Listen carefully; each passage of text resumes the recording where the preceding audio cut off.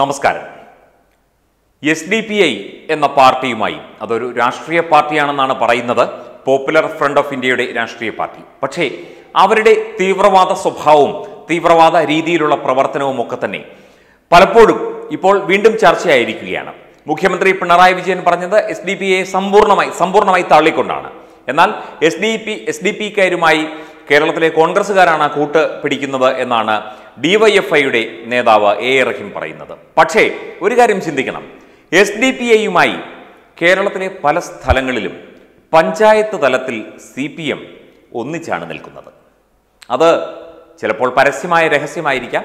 പല പഞ്ചായത്തുകളിലും standing committee അതുപോലെയുള്ള കാര്യങ്ങളൊക്കെ തന്നെ ഭരിക്കുന്നതിനും വേണ്ട പിന്തുണ സി പി എമ്മിന് കൊടുക്കുന്നത് എസ് ഡി പി ഐ ആണ്. അതുപോലെ സി പി എം പലയിടങ്ങളിലും മുസ്ലിം ലീഗുമായും ഒന്നിച്ചു ചേർന്ന് നിൽക്കുന്നുണ്ട്. അത് ഒരു വേള പ്രാദേശികമായ രാഷ്ട്രീയ വിഷയമായിട്ടൊക്കെ കാണാം എന്നാൽ പോലും അതും ഒരു സൂചനയാണ്. ഒരിക്കലും ഭിന്ന രീതിയിലുള്ള ചിന്താഗതിയും അല്ലെങ്കിൽ തീവ്രവാദ ചിന്താഗതിയും അതുപോലെ രാഷ്ട്രീയ ചിന്താഗതിയും ജനാധിപത്യ ചിന്താഗതിയും ഒന്നും ഒരുമിച്ച് കൊണ്ടുപോകാൻ നമുക്ക് സാധിക്കില്ല. എന്നാലും സി പി എം ഇപ്പോൾ മുഖ്യമന്ത്രി എസ് ഡി പി എയെ തള്ളിപ്പറഞ്ഞു എന്നാലും ഉള്ളിന്റെ ഉള്ളിൽ ഇവർ പല വിഷയങ്ങളിലും പല കാര്യങ്ങളിലും ഒന്നുപോലെ തന്നെയാണ് പ്രവർത്തിക്കുന്നത് എന്ന് നമുക്ക് ചിന്തിക്കേണ്ടി വരും. നമുക്ക് പല മേഖലകളിൽ നിന്നുള്ള പല റിപ്പോർട്ടുകൾ നമുക്ക് ലഭിച്ചുകൊണ്ടിരിക്കുന്നു. ഈ ഒരു കൂട്ടുകെട്ട് അതായത് ഇടതുപക്ഷ തീവ്ര ഇടതുപക്ഷ ജിഹാദി കൂട്ടുകെട്ടുകളെ കുറിച്ച് നമ്മൾ പലവട്ടം ഇതുമായി ബന്ധപ്പെട്ട കാര്യങ്ങളൊക്കെ വിശദീകരിച്ചതാണ്. എന്നാൽ ആത്യന്തികമായി ഇത്തരത്തിലുള്ള കൂട്ടുകെട്ടുകളില്ലാതെ സി പി എം പോലെ ഒരു പാർട്ടിക്ക് കേരളത്തിൽ നിലനിൽക്കാൻ പറ്റില്ല എന്ന അവസ്ഥയിലേക്ക് കാര്യങ്ങൾ എത്തിയിരിക്കുന്നു. ഇപ്പോൾ ഐ എൻ എല്ലുമായി പരസ്യമായി കൂട്ടുകൂടുന്നു. സ്വന്തം ഘടകകക്ഷിയായിട്ട് ഐ എൻ എല്ലിനെ പ്രഖ്യാപിക്കുന്നു. ഒപ്പം തന്നെ കെ ടി ജലീലിന്റെ മന്ത്രി കെ ടി ജലീലിന്റെ പുതിയ സംഘടന അതിന്റെ പേരൊക്കെ നിശ്ചയിച്ചു വരുന്നതേ ഉള്ളൂ. അതും ആ രീതിയിലൊക്കെ തന്നെ ഈ ഇടതുപക്ഷവുമായി സി പി എമ്മുമായി കൂട്ടുകൂടാൻ തയ്യാറെടുത്തുകൊണ്ട് നിൽക്കുകയാണ്. അതായത് രാജ്യവിരുദ്ധ ശക്തികൾക്കൊപ്പം നിൽക്കാതെ സി പി എമ്മിന് നിവൃത്തിയില്ല എന്ന അവസ്ഥയിലേക്ക് കാര്യങ്ങൾ എത്തിയിരിക്കുന്നു. പക്ഷേ നിങ്ങൾ ഇപ്പോൾ ഭസ്മാസുരന് വരം ലഭിച്ചതുപോലെ ആ രീതിയിൽ സി പി എമ്മിന്റെ ആ ഒരു അന്ത്യത്തിലേക്കാണ് കാര്യങ്ങൾ അടുക്കുന്നത് എന്നുള്ള എന്നുള്ളതാണ് ഇതിൽ നിന്നൊക്കെ നമുക്ക് ലഭിക്കുന്ന സൂചനകൾ. കോൺഗ്രസുമായി എസ് ഡി പി ഐ കൂട്ടുകൂടുന്നു അല്ലെങ്കിൽ കോൺഗ്രസ് എസ് ഡി പി ഐയുമായി കൂട്ടുകൂടുന്നു അങ്ങനെയുള്ള സംഘടനകളുമായി കൂട്ടുകൂടുന്നു.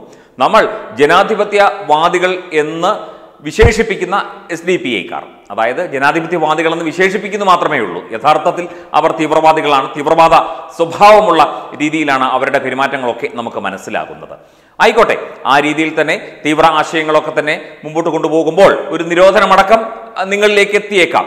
പക്ഷേ അതിന് വേണ്ട കരുക്കൾ നീക്കാനായും രാഷ്ട്രീയ നേട്ടങ്ങൾ ഉണ്ടാക്കാനായും പ്രാദേശികമായി പോലും രാഷ്ട്രീയ നേട്ടങ്ങൾ ഉണ്ടാക്കാനായും എസ് ഡി പി ഐക്ക് സി പി എമ്മുമായി ചേർന്ന് നിൽക്കുന്നതിനും വലിയ സന്തോഷമേ ഉള്ളൂ അതായത് ഈ മൂന്ന് ഗ്രൂപ്പുകളും ഏതാണ്ട് ഒരേപോലെ ചേർന്ന് നിൽക്കുന്നു. പല സ്ഥലങ്ങളിലും പലയിടങ്ങളിലും അതായത് കേരളത്തിൽ പലയിടങ്ങളിലും ഇത്തരത്തിലുള്ള സംഭവങ്ങൾ നമുക്ക് പുറത്തു വന്നുകൊണ്ടേയിരിക്കും. S D P I C P എമ്മിനെ പിന്തുണയ്ക്കുന്നു സി പി എം അതുപോലെ തന്നെ ലീഗിനെ പിന്തുണയ്ക്കുന്നു.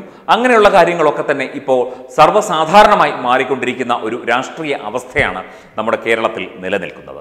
ഈ രാഷ്ട്രീയ അവസ്ഥ എന്ന് പറഞ്ഞാൽ അത് ഭരണം നേടാനും പ്രാദേശികമായ രീതിയിലുള്ള ഭരണ പ്രതിപക്ഷ തുലനത്തിന്റെ ചിന്താഗതിയുമായി ബന്ധപ്പെട്ടൊക്കെ തന്നെ ആയിരിക്കാം ഇത്തരം കാര്യങ്ങൾ. പക്ഷേ ആത്യന്തികമായി ഇതൊരു അവിശുദ്ധ കൂട്ടുകെട്ടിന്റെ ദൃഷ്ടാന്തമാണ് നമുക്ക് കാണിച്ചു തരുന്നത്. തീർച്ചയായും അവിശുദ്ധ കൂട്ടുകെട്ട് രാജ്യദ്രോഹപരമായ കാര്യങ്ങൾക്ക് മുന്നിൽ നിൽക്കുന്നതിനായിട്ട്. ഇപ്പം സി എ സി എക്കെതിരെ നടന്ന പ്രക്ഷോഭങ്ങളിലൊക്കെ ഈ തീവ്ര ഇടതുപക്ഷക്കാരും ഇത്തരത്തിലുള്ള ജിഹാദികളും ഒക്കെ ഒരുമിച്ചാണ് നിന്നത്. ഒരേ രീതിയിലാണ് ഒരേ സ്വരമാണ് അവർ പുറപ്പെടുവിക്കുന്നത് ഇപ്പോഴും അതെ. കേരളത്തിൽ ഒഴിച്ചുള്ള ബാക്കി എല്ലാ സ്ഥലങ്ങളിലും ഇതൊക്കെ കെട്ടടങ്ങി എങ്കിലും കേരളത്തിൽ ഇപ്പോൾ വളരെ സജീവമായി തന്നെ ഇതിനെതിരെയുള്ള പ്രക്ഷോഭങ്ങളും അതുപോലെയുള്ള ബഹിഷ്കരണ പരിപാടികളുമൊക്കെ നടന്നുകൊണ്ടിരിക്കുകയുമാണ്.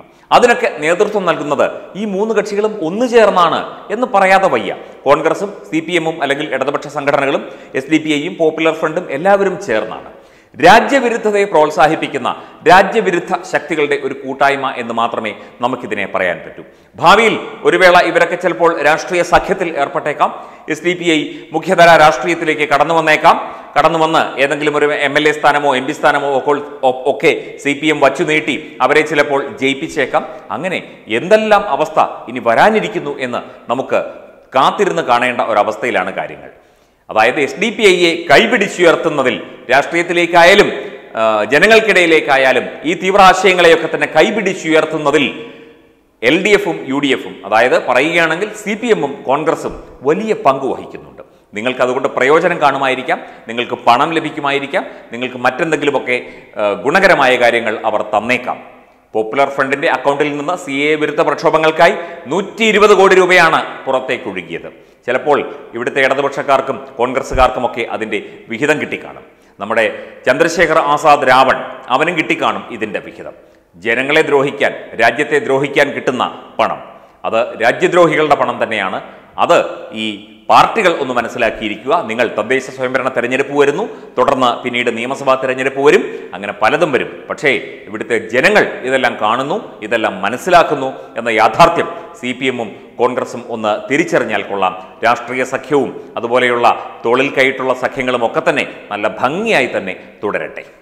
Web desk Tatwamayi news.